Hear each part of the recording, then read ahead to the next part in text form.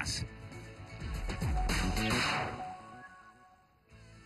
Las 10 de la mañana, 4 minutos. Es un placer volver a recibir al profesor Arturo Borges, como ustedes saben, director del Instituto de Investigación, Seguridad y Educación Vial, el ICEF, que es un centro de formación de conductores para el transporte y seguridad vial, con más de 20 años en playa. ¿Cómo le va, profesor? Bienvenido. Muchas gracias, buen día para todos. ¿Cómo Arturo. Danilo? Muy bien, hoy con un tema más que interesante, porque le decíamos con Danilo ya desde el arranque. ¿Cuántas veces uno cree estar ayudando con el comportamiento que tiene frente a un siniestro, ya sea porque uno lo protagoniza o porque de repente le toca de alguna manera asistir y está haciendo todo lo contrario con colaborar? Comportamiento en el momento de un siniestro, en, en- en la voz y en la imagen de un experto, como decíamos con Danilo, ¿no?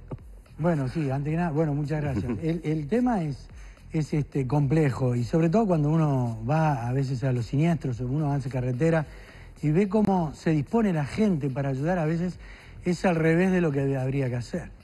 Tan importante es saber qué es lo que hay que hacer como saber qué es lo que no hay que hacer. Y lamentablemente mm, hay poca formación en este sentido y lo que primero tenemos que hacer, la primera parte es tratar de evitar el accidente. Entonces, ¿cómo, ¿cómo se evitaría eso? Bueno, nosotros tenemos primero tres tipos de prevención, primaria, secundaria y terciaria, y después una cadena de supervivencia a la que nos vamos a referir hoy.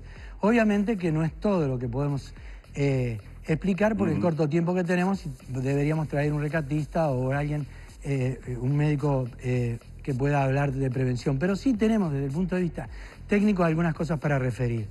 Es evidente que lo prota- protagonice o no, o, o a, a quien esté involucrado o no, siempre que veamos un accidente, nosotros en el deber de socorro tenemos que ayudar, tenemos que transformarnos en auxiliares para hacer algo o no hacer, apoyándonos en que, evidentemente, si nosotros, sin correr riesgo, no, no, no ayudamos, estamos quizás, podemos ser imputados de algún elemento de delito penal.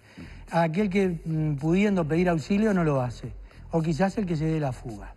Estos son tres elementos que complican a un individuo cuando no. Porque la gente nos pregunta, bueno, ¿qué hago en caso de ver un accidente? ¿Qué, ¿Dónde no, no incurro en el delito de omisión? Bueno, tratando de auxiliar. Ahora, ¿esto quiere decir de que le pidamos a la gente que haga cosas que no está en condiciones de hacer? No, evidentemente que no. La idea es, en primera instancia, como vimos unas siglas allí, lo primero que hay que hacer es protegerse. Proteger, protegerse uno mismo. Si yo veo el accidente, vengo en ruta, que por lo general la velocidad es la que complica más la situación, eh, debemos de salir ya con el chaleco reflectivo puesto.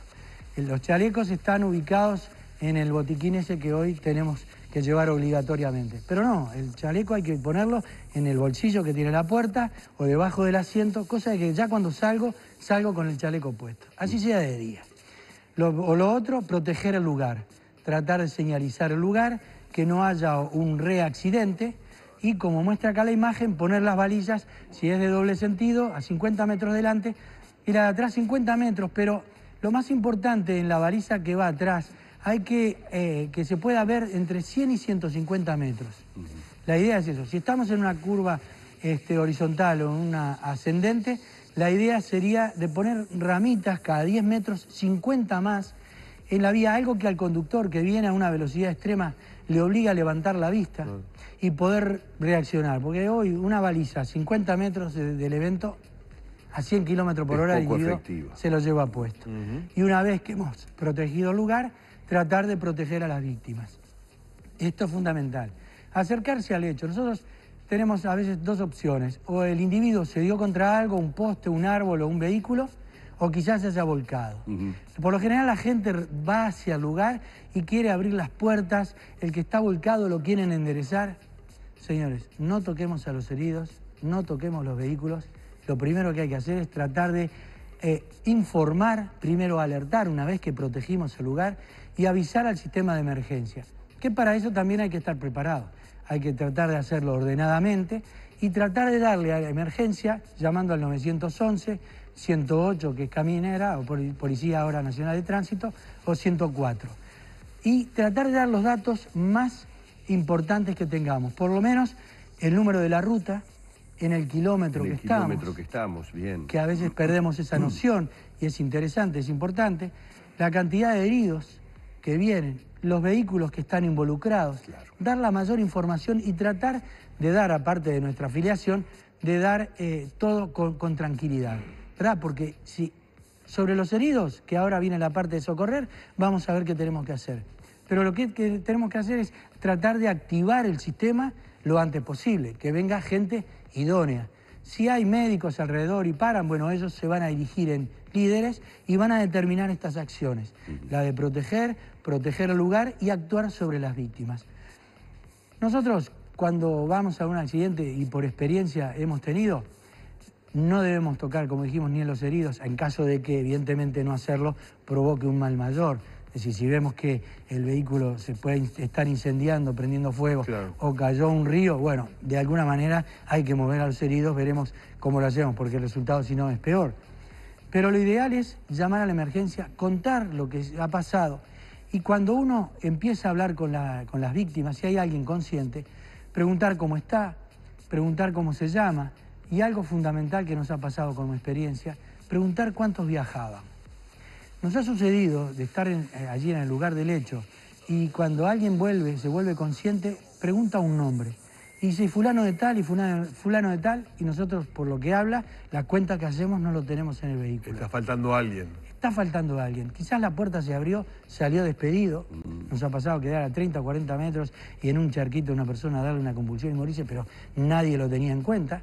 Por lo tanto, esto es una pregunta importante. ¿Cuántos viajaban? A partir de ahí, ver qué nosotros podemos ayudar.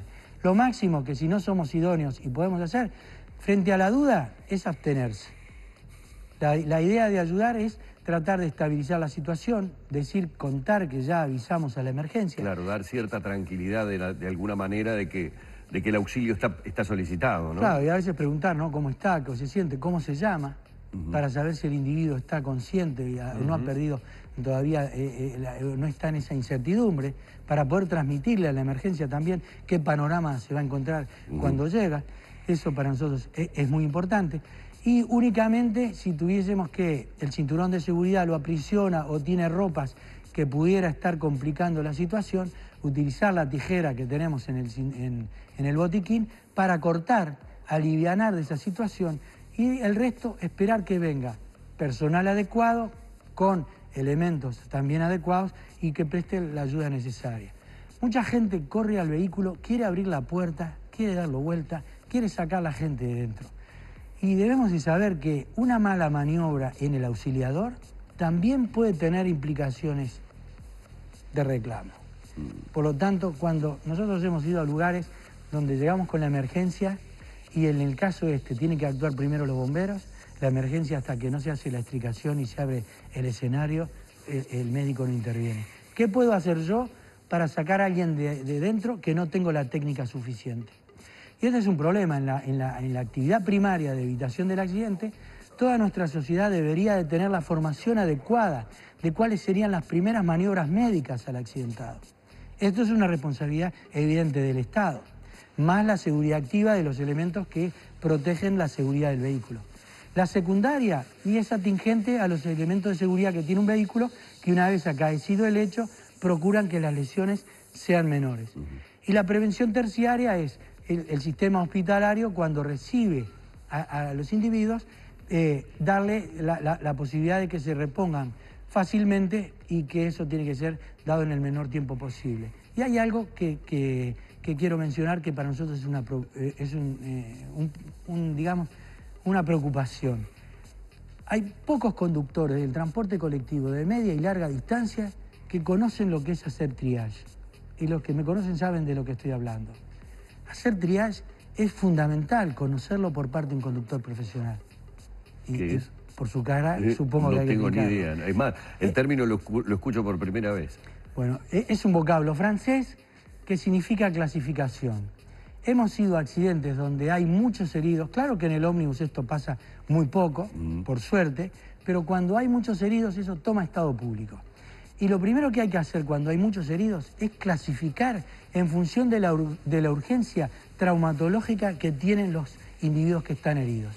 Por lo tanto, hay que darle un orden, una atención primaria, evidentemente, al que más urgente y más probabilidad tiene de perder sus signos vitales y clasificar Muchas veces vemos que el conductor duda, no sabe quién está peor y el conductor profesional debería estar perfectamente educado y formado para ayudar, porque ¿qué, ¿qué, sucede? Una cosa es en ciudad, la otra es en la ruta donde por lo general la emergencia tarda mucho tiempo. Tarda tiempo. Y esos 10 minutos posteriores al accidente, todo lo que nosotros podamos hacer van a ser vitales. Y eso de la clasificación es fundamental. Muchas veces la hace la clasificación cuando va mucha gente al hospital, se clasifica, ¿verdad? Con rojo, amarillo, con verde en función de la gravedad. Pero notamos que no todos los conductores están en condiciones de hacer esa clasificación. Profesor, ha sido realmente, nos ha dejado este, absolutamente prendidos porque, bueno, muchísimas de las cosas que ha dicho, obviamente, este, deben estar eh, revelándole a mucha gente que los comportamientos que en más de una oportunidad creíamos eran los correctos, eh, no lo son. Ha sido más que ilustrativo, partiendo de la base de que es un tema muy amplio y que simplemente hemos tenido una aproximación. Exactamente, y que en nuestro botiquín deberíamos tener ese protocolo mismo mínimo de actuación para que la gente tiene el botiquín, pero muchas veces no sabe cómo actuar. Muy bien, muchísimas gracias. Al ¿eh? contrario, gracias a usted. Así hemos tenido al profesor Arturo Borges hoy hablándonos del comportamiento que deberíamos tener en caso de un siniestro.